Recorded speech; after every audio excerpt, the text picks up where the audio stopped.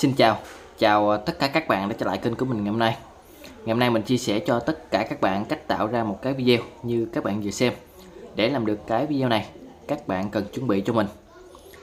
Thứ nhất là ứng dụng KMaster Và thứ hai là hiệu ứng video 23.k Cái hiệu ứng video 23.k này sẽ nằm dưới phần mô tả của video nghe các bạn.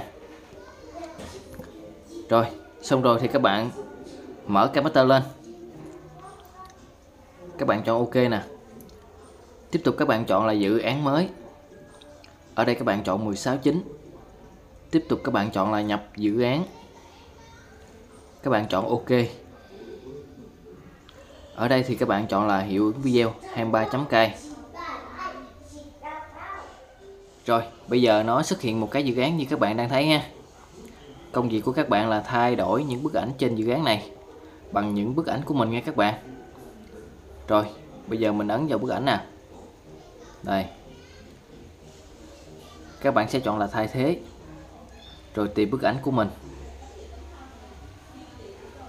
Đó. Đây, các bạn kiểm tra coi nó có phù hợp chưa.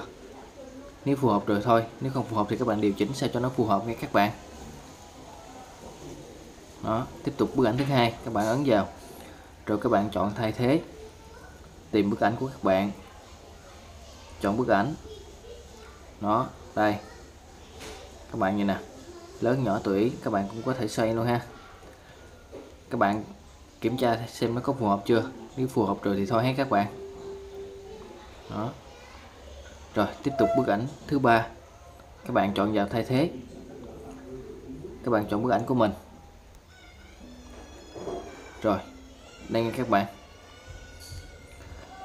Rất là đơn giản hết các bạn vừa rồi thì mình cũng test thử ba bức ảnh để các bạn kiểm tra, để các bạn có thể làm theo được nha các bạn. Rồi, mình xin tạm dừng video đây. Hẹn gặp lại tất cả các bạn ở những video kế tiếp của mình ha. Xin chào.